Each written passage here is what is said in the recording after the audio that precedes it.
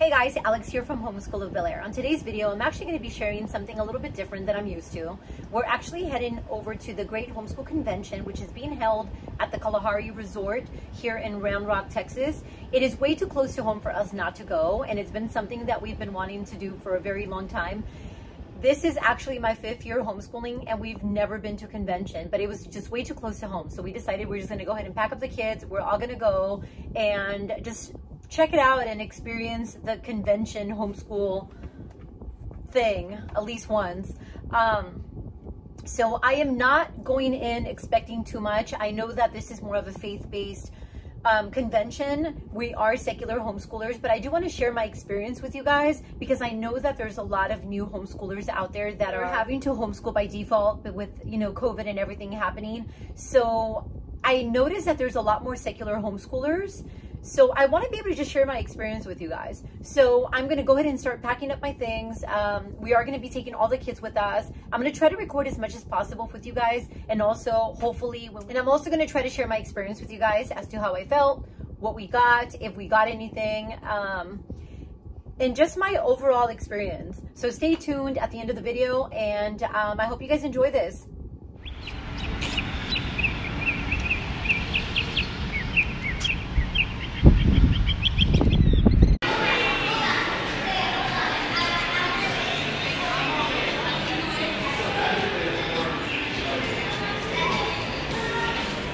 Where to? Okay. Oh, Where, I don't know where it's at. Evelyn, let's go.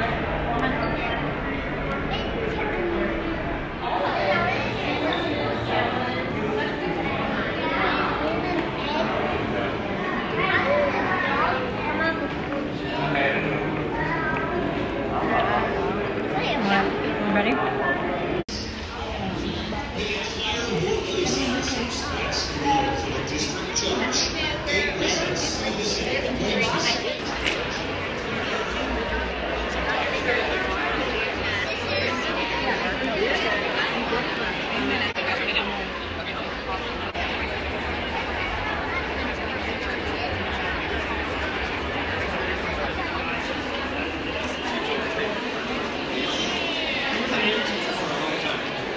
Yeah, the card.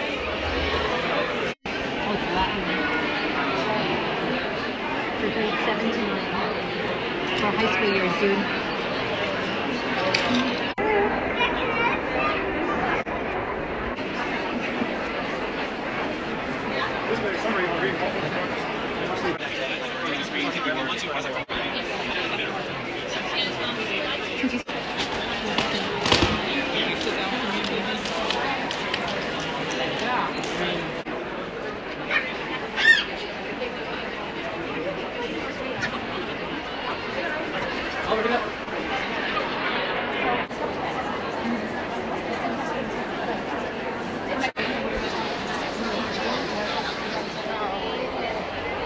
No. No.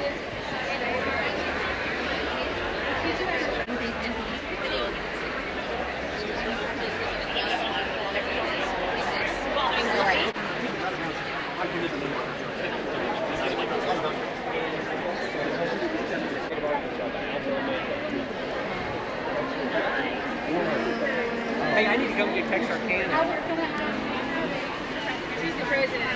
Dad. Okay. What is that, an eraser? No. It's a stress ball. Dad, this is how big my brain is. India. India.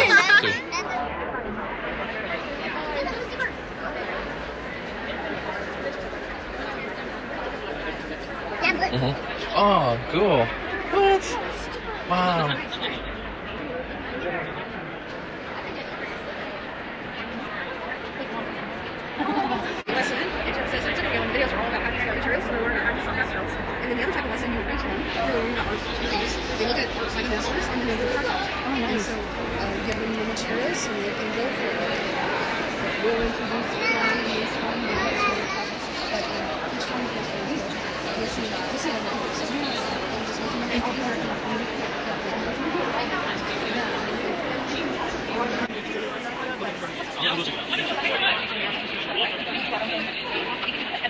the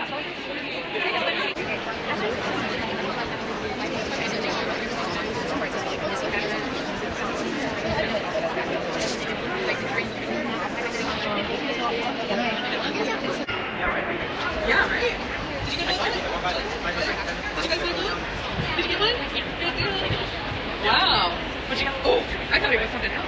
It's in there. Nice. Good luck.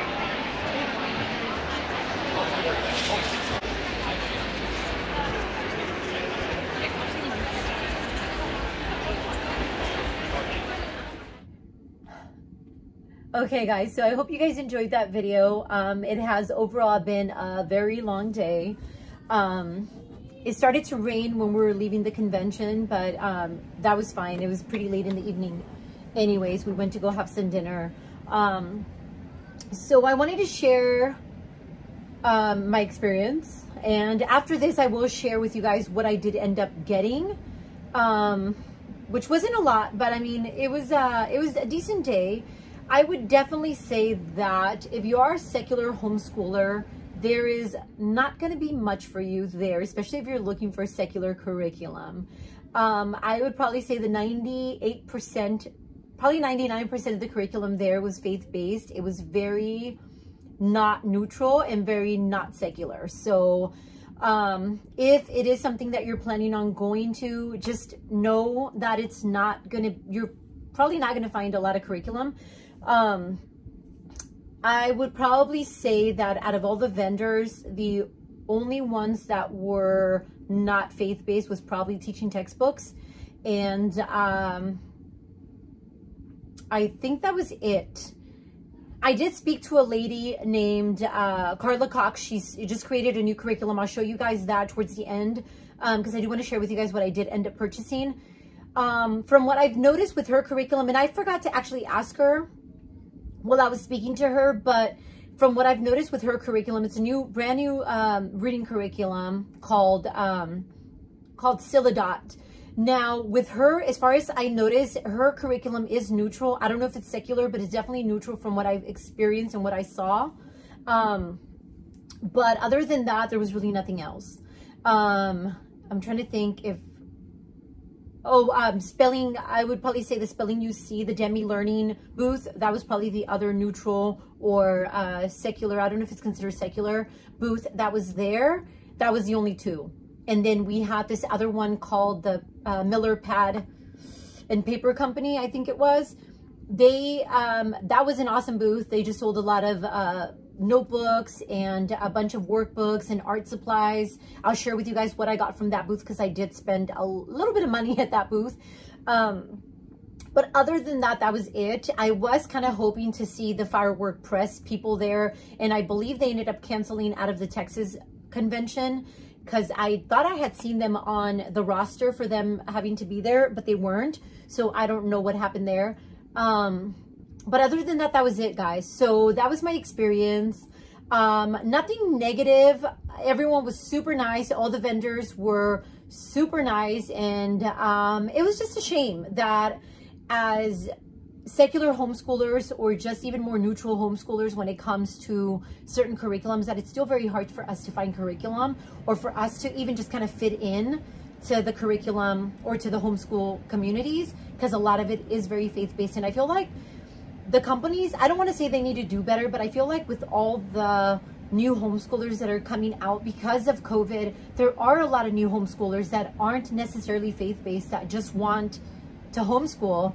It's really hard for us to find really anything. So in that sense, it was kind of, eh, but I kind of knew, like I said, I kind of knew this going in. So I kind of, I didn't really go in with high hopes. Um, I had set a little side budget for um, purchasing stuff. So that was fine. Um, I probably, I would say spending wise, I didn't spend more than $200 at the convention. Um, yeah, definitely didn't spend more than $200. Now, if you are more of a faith-based um, homeschool, you're going to find tons of stuff. This, uh, the Great Homeschool Convention, even if you don't care about listening to the speakers or doing the seminars and all that good stuff, just going to that first Thursday when they have that, um, I believe it's 5.30 to 8.30 that they have the free vendor hall. I recommend just going to that because you can find a lot of good stuff. Not only that, a lot of the companies package things together so you could actually buy the packages of certain, um, you know, science sets or history sets and things like that. Now, were they at a discounted price?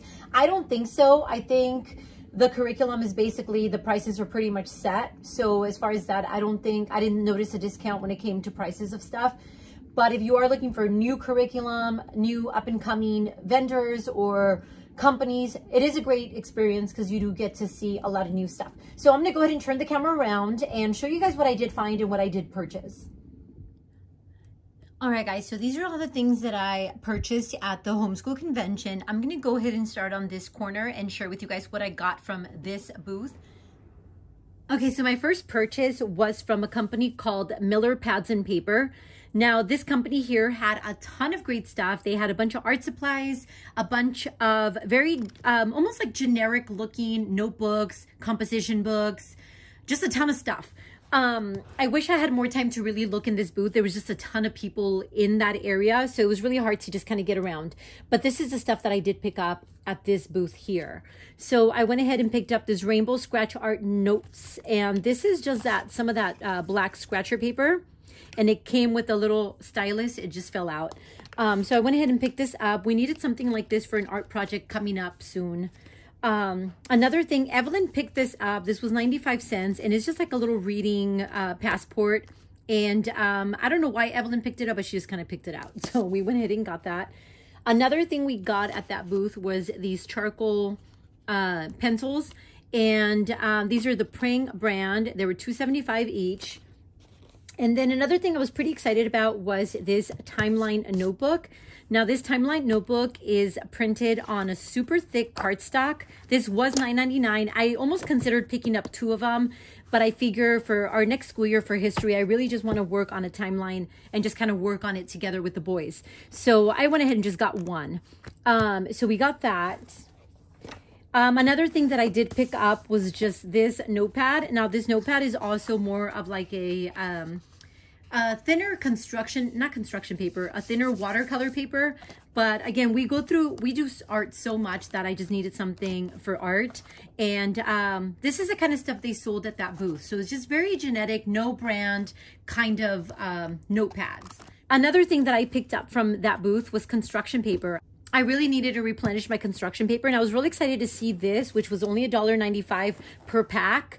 Um, you can't pick the colors that come in each pack, but they had such a wonderful variety. I went ahead and picked up two of these. Um, another thing that I picked up at this booth was a couple of Usborne books. So I went ahead and got the Usborne Encyclopedia of World Religions. I also picked up the Usborne, Usborne Time Traveler. I also picked up the Usborne First Encyclopedia of Human Body and the timeline of world history, which I've been wanting, and I was pretty excited to find it.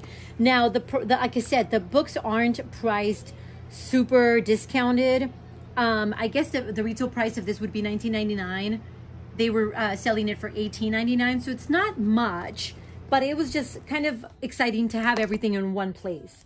So I, that's what I picked up from the Miller Pads and Paper Company. Okay, from another booth, which I believe is just called Learn to Play um, booth with Faith Barr, I went ahead and got some music um, technique books for drums.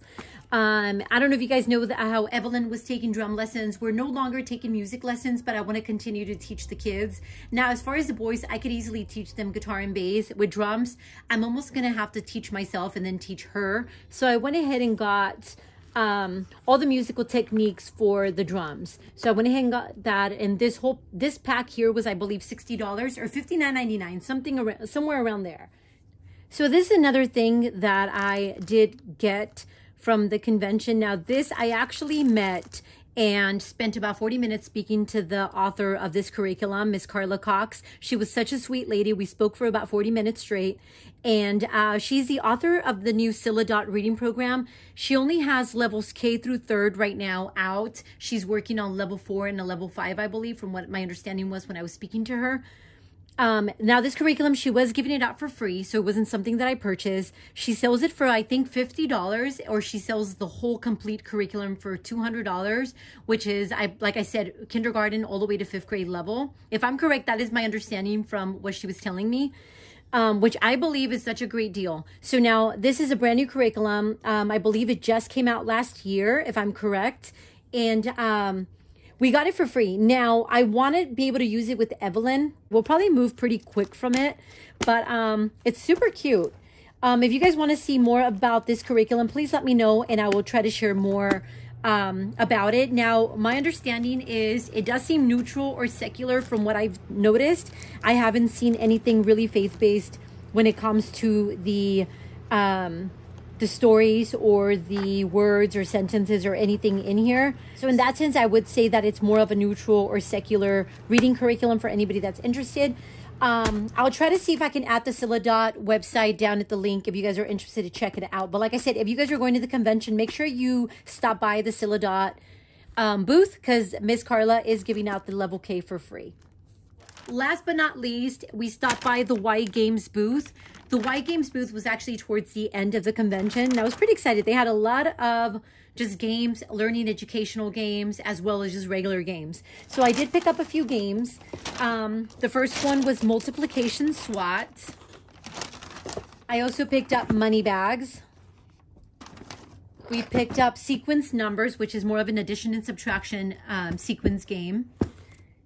And then these I already opened, but um, we went ahead and picked up the Professor Noggin Human Body and the Professor Noggin Presidents of the United States um, card game.